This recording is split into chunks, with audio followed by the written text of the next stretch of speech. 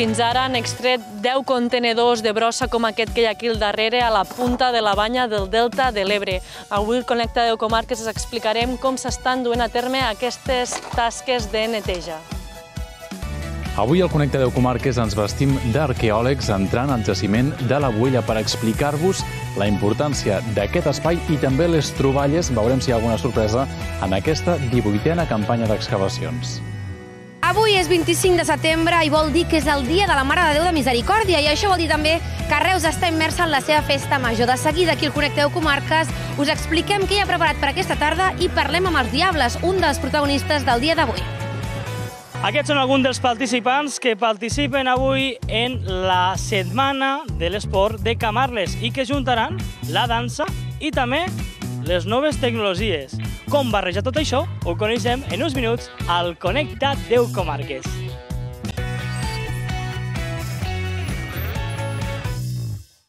Per primera vegada a la història s'està fent una neteja integral d'un terç de la punta de la banya, al delta de l'Ebre. Ara per ara l'equip de neteja ha extret molts elements de macrobrossa com embarcacions abandonades. La Fundació Salines Marines és l'entitat impulsora de l'actuació i ha comptat amb un finançament de 44.000 euros per part del GALP Mar de l'Ebre. Ruth Turc, quanta brossa s'ha pogut treure? Doncs bé, Biel, fins al moment s'han retirat fins a 10 contenidors com els que tenim aquí al darrere. La neteja va començar el 12 d'agost i s'allargarà fins al 12 d'octubre. Per saber més sobre com estan desenvolupant-se aquestes tasques, tenim aquí amb nosaltres a un dels operaris, el Francesc. Bona tarda, Francesc. Hola, bona tarda. Quin és el tipus de brossa que esteu recollint? Eh, sobretot plàstic, plàstic i bueno, bolles, eh, tenim eh, ubicades 27 embarques, ai, barques que estan abandonades. Hauria de vindre una giratòria i extraure-les de la mar. No sé si espereu trobar tantes barques. Com, com, perdona? No, no sé si espereu trobar-vos tantes embarcacions no, o quin tipus de residu. No, però, però bueno, està sortint molta brossa, la veritat. Eh, tot acaba per aquí baix. Clar, la majoria, com comentaves, són plàstics, però aquests plàstics malauradament ja no es podran reciclar. Per què? Perquè tal i com res, això se trenca i se fa, no res, puntetes menudetes i perquè porta molt de temps al sol i s'ha degradat. Bueno. Quants operaris sou que esteu treballant aquí? Eh, som vuit ara mateix. Bueno, sempre hem sigut vuit. aquesta és la primera vegada no, que es fa aquesta neteja. Suposo que precisament ho esteu notant, que esteu traient aquesta brossa que fa molts, molts anys que, que està per aquí. Sí, la veritat és que sí. Això eh, és una feina que, que s'hauria de fer més sovint, la veritat. Gràcies, Francesc, i ànims fins al 12 i continuar retirant brossa. Moltes gràcies. Bé, doncs per continuar ampliant aquesta informació tenim aquí amb nosaltres el director de la Fundació de Salines Marines, que és la impulsora d'aquesta iniciativa. Bona tarda. Bona tarda. Diguem, Cristian, um, per què s'ha fet, no s'havia fet fins ara aquest tipus d'intervenció? Per què és això? Bueno, teníem aquí un històric de, de brossa que s'havia acumulat. Mai, mai, mai s'havia netejat eh, ni, ni l'interior de les salines ni tota la, la vora.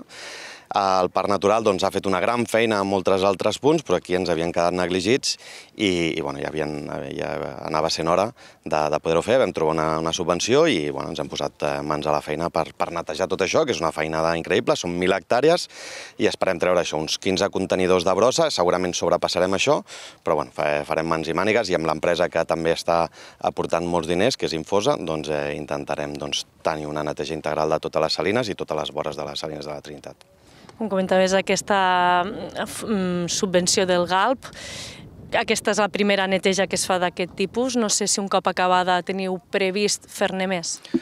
Bueno, eh, es faran repassos, perquè evidentment el mar continuarà portant brossa, eh, i després hi ha quedat doncs, 2.000 hectàrees pendents a la resta de, de la Punta Banya, que, que bueno, mm, si el parc ens autoritza i trobem més diners per continuar treballant-ho, esperem doncs, eh, fer, jo crec que la feina que estem fent, que està molt bé, eh, poder-la continuar doncs, a les resta de 2.000 hectàrees, que evidentment això és brossa que ens, que ens, ens afecta a nosaltres, que afecta a la vida marina, que afecta a la, a la vida animal dels ocells que hi ha aquí, a les nacres, que és un perill crític d'extinció, o les praderies de fanerògames, que, que també, evidentment, si queden sepultades per plàstics, per brossa, doncs no, no, no els hi va bé. I són tot espècies prioritàries, eh, que estan algunes en perill crític d'extinció a nivell mundial, i és, és essencial que mm, tot aquest espai quedi net, sent l'espai més protegit de tot el litoral català i, malauradament, el més brut.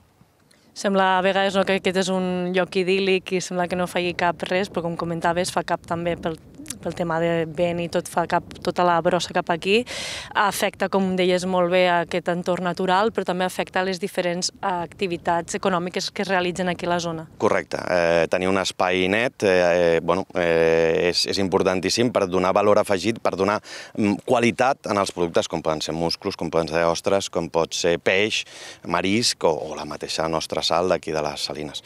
Llavors és, és molt important tenir l'espai nostre, casa nostra net i, evidentment, tots els voltants eh, és essencial.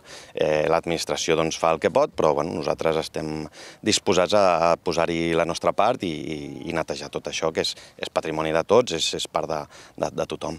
Moltes gràcies, Cristian. Doncs bé, Biel, esperem que aquesta sigui una primera neteja de moltes i que es puguin posar això, administracions i fundacions, treballar conjuntament per netejar aquest eh, delta, aquest paratge idíl·lic.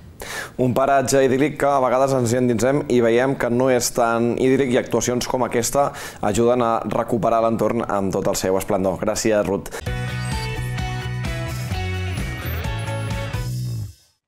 Ja fa 18 anys que es fan excavacions arqueològiques a la Buella, al terme municipal de la Canonja, al Tarragonès. Es tracta d'un dels jaciments més importants de casa nostra per entendre l'evolució de la vida en els últims milions d'anys. De fet, es considera també un dels referents per a coneixement de les primeres ocupacions humanes d'Europa. Les excavacions d'enguany ja estan arribant a la seva recta final. Gerard Bosch, alguna sorpresa de moment enguany o no? Sorprenent, bé, com a mínim per mi, trobar ossos de mamut o d'hipopòtam és alguna cosa extraordinària. Per als experts, per als arqueòlegs que fa uns 18 anys que treballen en aquestes campanyes, que és la 18a aquí al barranc de la Buella, potser ja no és tan excepcional. Preguntem als investigadors per què aquesta campanya està, podríem dir, a les acaballes i veurem quines són les eh, cerques que han aconseguit en aquesta nova edició. En podem parlar amb un dels investigadors, amb l'Antoni Pineda. Antoni, trobar aquests ossos d'animals és una qüestió excepcional? És sempre una qüestió excepcional. És veritat que aquí al Barran de la Buella hem tingut molta fortuna de trobar restes d'hipopòtam i de mamut des, de, des del 2007, que van començar els treballs d'excavació, però trobar-ne una resta és sempre, sempre molt interessant i aporta moltíssima informació i ens ajuda a conèixer molt bé com, com era l'entorn que habitaven els primers habitants que van arribar al, a les nostres comarques. Clar, restes d'animals, però també de presència humana, que això és el que explique més aviat no, com era el dia a dia d'aquestes poblacions.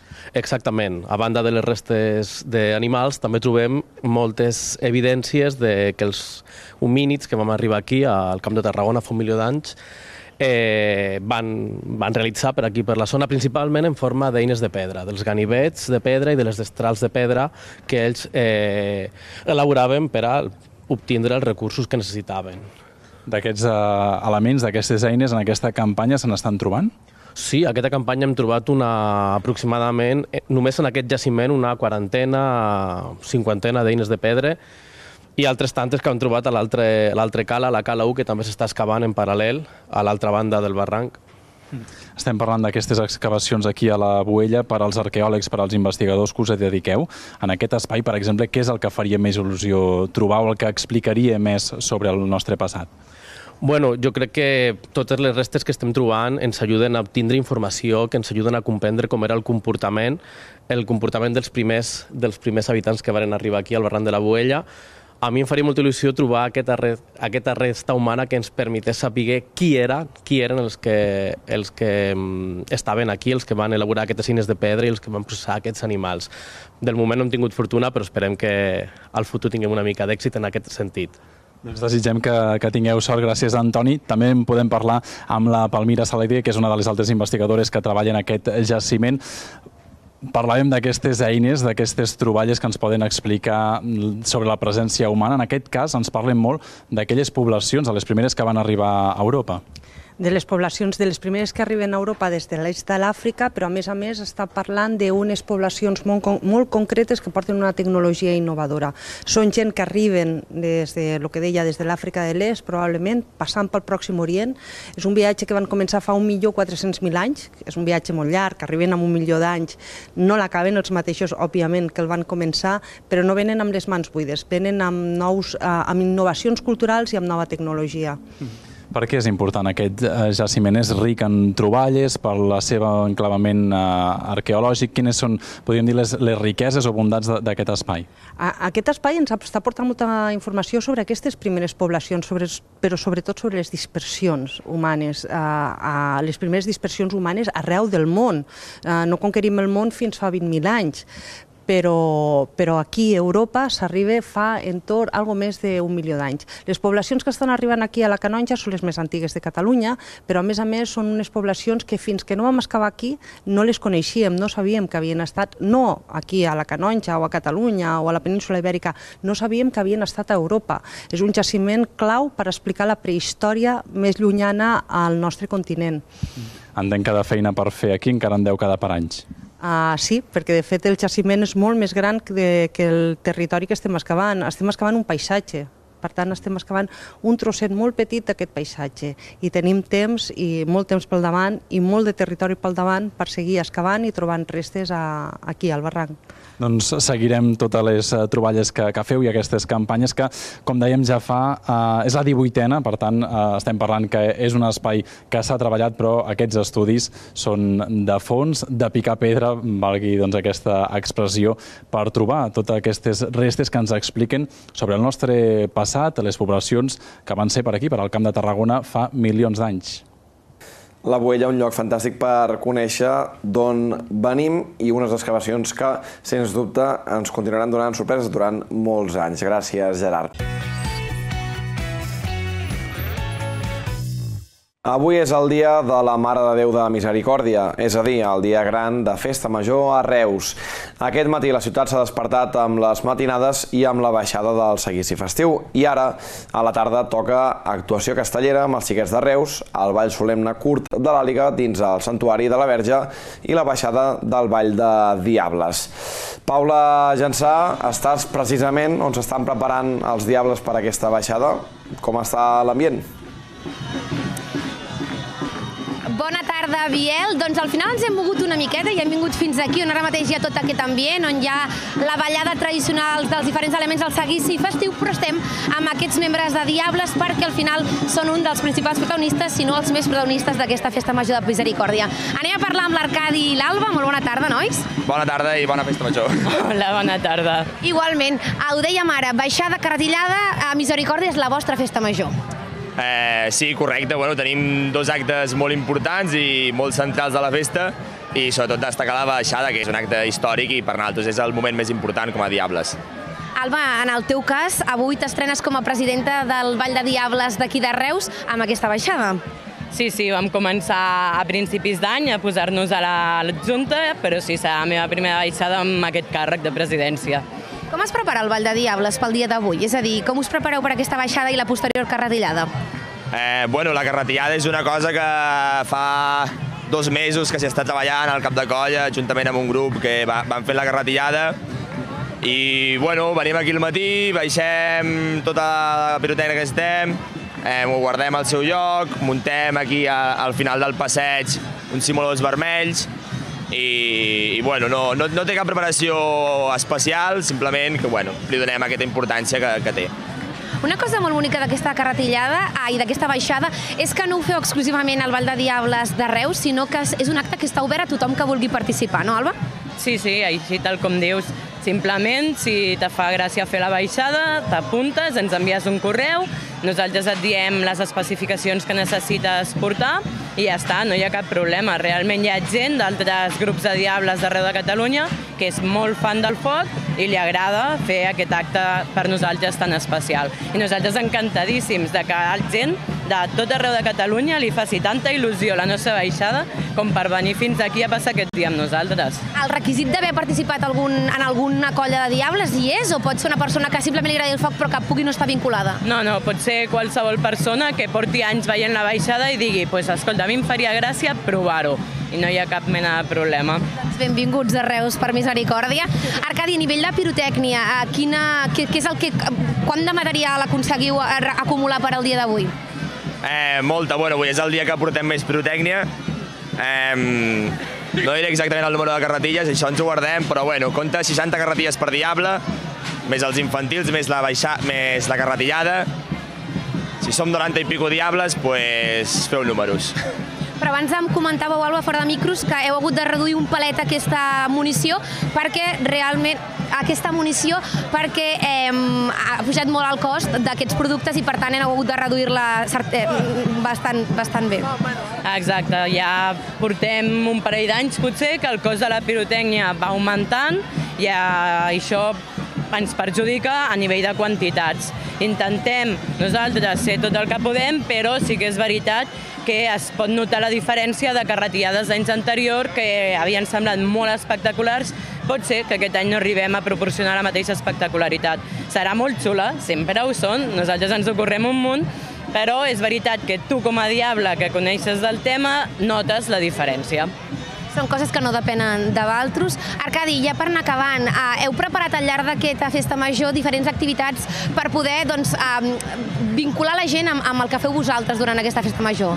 Sí, correcte, una mica per lo que deia l'Alba, no? que hem, hem entrat una junta nova i volíem fer alguna més que tirar carretilles. Ens encanta tirar carretilles, però volíem mostrar-nos una mica més a la ciutadania i hem creat dos actes nous, bueno, creat, hem fet dos actes nous, que és el Festarda, que el vam fer el divendres abans del Ball de Sant Miquel, una mica així de, de tardeo, eh, bueno, una mica una festeta, llàstima de la pluja, i després els del DAC eh, van fer un... Bueno, es va intentar fer un, un corre vermut, el corre escates, l'únic que es va, poder, es va cansar per la pluja, però per sort vam poder fer el vermut electrònic de després, que el van fer a la Palma, i que tot i les condicions climàtiques eh, estem molt contents dels resultats. Sí, a vegades eh, és veritat que per Festa Major de Misericòrdia els dies no acompanyen molt, això ser... Nosaltres ho diem molt, eh, que necessitem la pluja, però que justament sempre enganxa en aquests dies. Moltíssimes gràcies a tots, a tots dos. Us deixem que us aneu, us aneu preparant per la baixada i la cartillada. I ja ho veieu, companys, a un acte que està obert a tothom, a tothom que li agrada el foc i que li faria gràcia baixar aquest passeig de Misericòrdia rodejat de foc,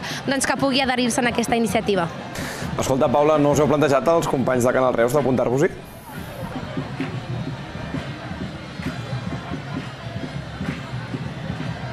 No, sembla que no ens escolta la Paula normal perquè hi ha un xivarri considerable davant del santuari de la Mare de Déu de Misericòrdia. Gràcies, Paula, i a gaudir de la festa major. Caldrà una pulsera identificativa per entrar a la Tarraco Arena plaça al cap de setmana vinent. L'hauran de dur els acompanyants de les colles que no porten camisa i porten samarreta i també el públic que hagi comprat entrada. D'aquesta manera es vol evitar la picaresca que s'ha detectat en altres edicions del certamen per poder accedir a plaça. La imatge habitual del concurs de castells a la Terra Quarena, milers de castellers amb camisa a l'arena acompanyats d'altres milers amb samarretes per donar suport a les diferents colles es repetirà, però aquesta vegada amb limitacions. I és que tant a la jornada de dissabte com a la de diumenge, les persones que accedeixin al recinte amb una colla però sense camisa hauran de dur una pulsera que els acredite com a acompanyants d'aquesta. Des de l'organització del concurs es faran arribar aquestes pulseres a les colles en els pròxims dies. L'objectiu no és reduir el nombre de samarretes, sinó evitar situacions que s'han donat a altres edicions. Havíem detectat eh, fa dos anys que molta d'aquesta gent no tenia el consentiment de la colla, és a dir, es posava una samarreta que tenia a casa o que havia adquirit eh, a la pròpia colla, però no amb el consentiment. No? Llavors vam veure que en algun moment, amb algun intent molt important de la colla en qüestió, eh, veies tot un grup de gent amb aquesta samarreta d'aquell color a l'altra punta de la plaça. No? Llavors una mica vam voler eh, donar un cop de mà a les, a les colles per, a, per evitar aquest, eh, aquesta trampa unes pulseres que també haurà de lluir el públic amb entrada, un fet que evitarà la picaresca d'altres edicions on les entrades servien per entrar i sortir del recinte. Ah, vam detectar l'edició de fa dos anys que molta gent el que feia era passar la seva entrada a la gent que estava a l'arena i llavors podia accedir amb tranquil·litat a la grada. Enguany el que es farà és que tal com entres per la porta de la TAP se't ficarà una pulsera que es tancarà i serà el que et permetrà l'accés agrada o no. Finalment, la pulsera per als acompanyants no servirà per a poder accedir a la graderia, al contrari de la del públic amb entrada, que sí que podrà accedir a l'arena. On no cal entrada ni pulsera acreditativa és a Torredembarra. Aquest dijous s'ha confirmat que la previsió meteorològica permetrà que la primera jornada es podrà disputar a la plaça del Castell, evitant el trasllat al pavelló Sant Jordi d'ara fa dos anys.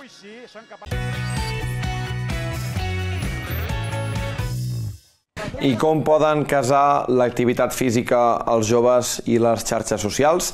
La resposta la trobem ara a Camarles, que celebra la Setmana de l'Esport amb diferents activitats per totes les edats.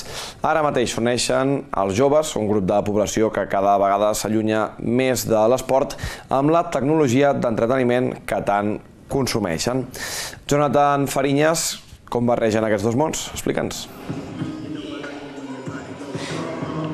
Hola, Biel, molt bona tarda. Doncs amb dansa, el que estan fent aquí és aquest tipus de dansa que al final el que fan és enllaçar en aquests joves que cada vegada estan més allunyats de l'esport i més proper a les xarxes. Així que, Eric, una mica és això, no? Acollir en estos joves per a que eh, tinguen esport i barrejar en aquestes xarxes socials que tant utilitzen. Pues sí, la veritat és que sí, el que ens interessa no, en aquestes jornades que estem aquí participant és que a la vegada que practiquen esport i aprenen tot el que és els passos de ball, pues que ho poguéssim relacionar no? i després pues, crear aquestes coreografies en tendència de música pues, que en este cas és viral i poder pues, crear contingut per a poder publicar a les, a les xarxes socials. Perquè al final és una forma d'arribar als joves, perquè, clar, molts d'ells s'allunyen de l'esport perquè o no tenen temps lliure o estan pedíssimes enganxats a la tecnologia i aquesta és una forma de dir, escolta, que barrejant les dues coses podeu tindre esport, podeu tindre xarxes i contingut, que és al final que molts d'ells busquen. Sí, la veritat és que les escoles cada vegada ens han de modernitzar més i ens han d'actualitzar i la veritat és que fusionar no? el que són les xarxes socials, que és el que el jove no? I, els, i els infants i els joves és el que més, el que més de moda, no? per dir-ho així està, i fusionant-ho la dansa doncs aconseguim que arriben molts més joves i que la veritat és que practiquen esport. La dansa, en aquest cas, és un esport multidisciplinar que ens aporta moltíssim a nivell físic i també doncs, emocional i la veritat és que funciona molt i la veritat és que tenim molts, molts alumnes que participen en aquestes TikTok class que nosaltres diem o fusion dance on fusionem aquestes dues coses, la, la dansa i també doncs, les xarxes socials. Fer una crida també no? a, a fer esport, perquè esta setmana també va d'això, de fer una crida a que feien esports, sobretot a aquests joves, però també gent de totes les edats, perquè al final nosaltres també acollim una mica de tot a fer dansa. Sí, la veritat és que des dels 3, que comencen ja ben petits, hasta fins als 16 i 18 i més, eh? però en aquest cas intentem no la franja dels adolescents, que és el que més difícil és arribar, perquè cada vegada per les xarxes socials ens dificulten que la relació, no que vinguin a practicar esport és més complicat, però la veritat és que gràcies a aquesta iniciativa doncs, podem aconseguir arribar als joves i als adolescents i això, bueno, en aquest cas aquí avui ens acompanyen diferents grups d'edats, des dels Kids 1 fins als Youth, com està també eh, les, les, les alumnes que avui ens acompanyen i bueno, doncs molt contents d'aquesta proposta de classes. De fet, són continguts que poden utilitzar les xarxes perquè són balls virals. Correcte. El que, el que busquem és cançons virals que els joves escolten molt i crear coreografies d'aquestes mateixes cançons per a que d'una manera o d'una altra intentar-los aganxar i que estiguen ben motivats i motivades. Doncs anem a fer una cosa, vaig a conèixer algun d'aquests eh, alumnes que tenim per aquí, si el meu company Didac m'acompanya, vaig a veure a Iris, Iris està aquí. Hola Iris, bona tarda. Hola. A veure, per a gent que m'està veient, què esteu fent aquí? Conta'ls una mica. Estem fent una coreografia per a penjar-la al TikTok. Ara intentar fer coreografies per després penjar-les? Sí, exactament. Moltes gràcies. Sí, vaig a parlar amb Paula, vale? Paula, jo no sé si tu utilitzes TikTok, imagino que sí, sí, però no sé si això te serveix després per fer contingut. Sí, la veritat és que les coreografies que fem aquí me donen moltes idees per a després crear TikToks i publicar-los. I si no fos per aquestes classes, tu faries esport o te costaria una mica més? Me costaria una mica més, la veritat. Te costaria més. Sí. Bueno, doncs moltíssimes gràcies. Vos deixo fent la classe aquí com esteu i, Biel, diu una mica això, no? És, eh, diem al principi, com se pot barrejar xarxes socials i esport? Doncs aquí a Camarles ho tenim clar. Has d'agafar aquestes danses, aquestes músiques virals i passar-les a coreografies que després podem utilitzar al TikTok. Així se barreja xarxes socials, joventut i esport, que fa molta i molta falta. Jonathan, tot plegat em sembla molt bé, però a mi m'agradaria veure't ballar ara mateix, eh? fent uh, aquest TikTok. Ho intentaré, el és que no em sé la coreografia, me puc ficar al costat d'elles i intentar-ho. El que no dic és que me surti bastant bé. A veure si, Iris, a veure, com és el pas? Ensenya'm com, com ho feu. A veure. Com fa ella? Aquí, Flexiona flexiona només les cames, així. Ara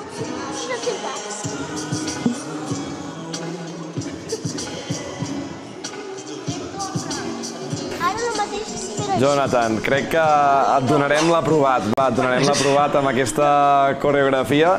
Et deixarem aquí ballant una estona més a veure si acabes d'enganxar-la del tot i et veiem viral a les xarxes socials dels pròxims dies. El deixem aquí al Jonathan, que s'ho està passant d'allò més bé. Gràcies, Jonathan. Nosaltres deixarem aquí el programa d'avui i tornarem demà dijous amb més connexions en directe a partir de dos quarts de set de la tarda aquí a Connecta 10 Comarques. Que vagi bé, adeu-siau. So what